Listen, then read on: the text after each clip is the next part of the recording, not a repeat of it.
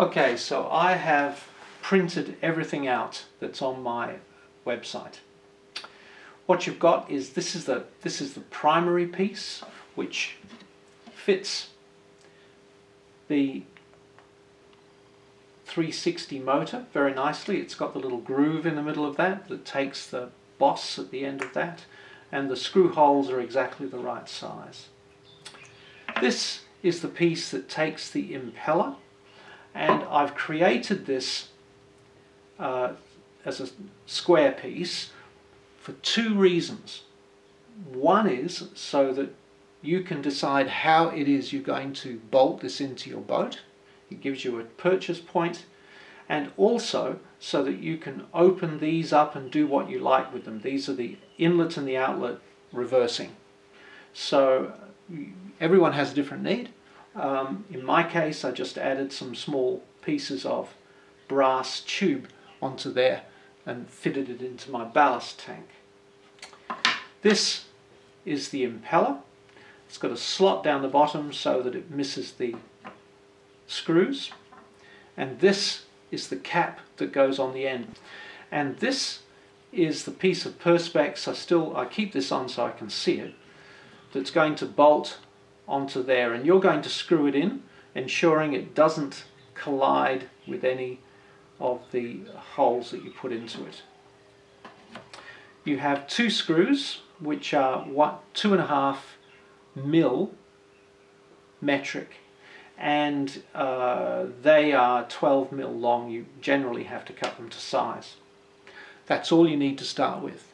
There are O-rings that you need and I'm going to suggest as you go along you work out you, you can have uh, you need at least one O-ring.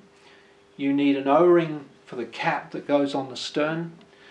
If you're going to go for a subtech valve you're going to need another O-ring so I'd suggest if you're going to do all of that, you wait till you get to that point and you toddle down to the shop that sells O-rings and you get them all fitted. And while you, if you're going to get this, you also get a couple of six and a half mil stainless steel ball bearings. These motors are as cheap as chips, probably five or six dollars if you get them off the internet. I spent $9 off these by going to an electronics shop. And so I think we're ready to go. Now I'm just going to stop quickly. I've come to the end of this process. I've been building this particular pump. But you would notice that in my parts I also have a larger base and a larger impeller. The reason I put those in is so that you can use those instead of the standard one if you want some extra power, for example, for a bow thruster. I'm not particularly sure that that's necessary. I'm aware that this throws the water out as it does. But what you can do with this is make this hole much bigger and get a much bigger outlet, which could be, which could make all the difference. So that's what that is doing it in, in the um, on the web page you'll find that you've got these that you can use or the standard one here which I think is good enough for anything. I'll just mention too I'm using these ones this is a second run and these are all uh, out of red material they're a bit rougher and I was very happy to try these out because the other grey one was very fine and this is less fine and I just wanted to make sure that this would work as well. And in fact it does. Uh, it's just a matter of being careful how you put it together using a bit of silastic and you get a good response. Just a suggestion the steps involved are we bolt it together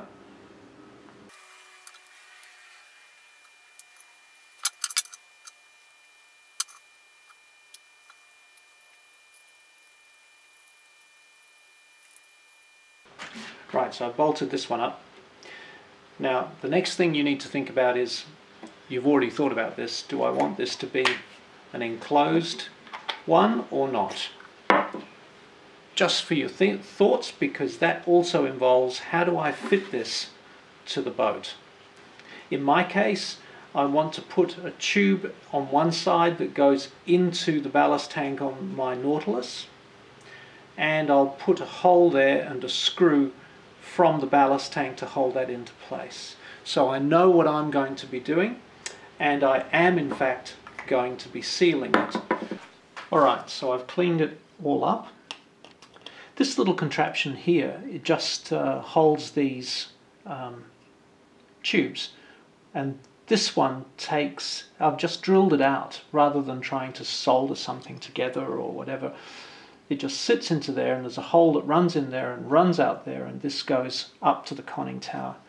This hole uh, comes out here and that's the one that sucks the air in, the, in and out. But this one is the pump in and that's, that needs to be right at the base of my tank. But this, of course, so what I've done here is I've, let me just show you, I've drilled these out so that they will fit this, um, and I've drilled them both out the same size so that they, there's no flow issues. But I've, that will go in there and I can glue that in beautifully.